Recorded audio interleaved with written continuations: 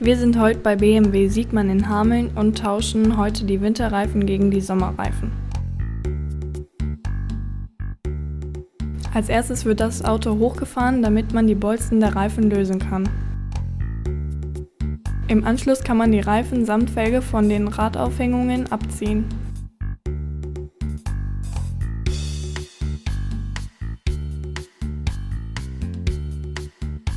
Im nächsten Schritt werden die Sommerfelgen ausgewuchtet, wenn nötig mit Bleigewichten ausgeglichen.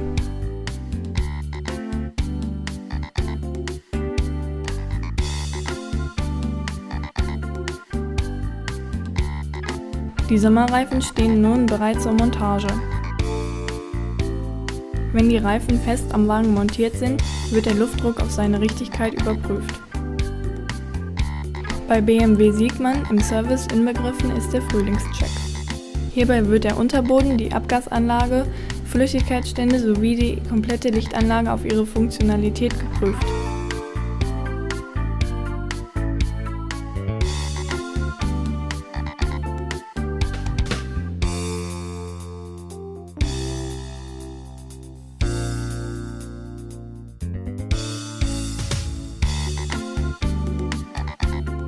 Nun steht der Wagen zur Testfahrt bereit.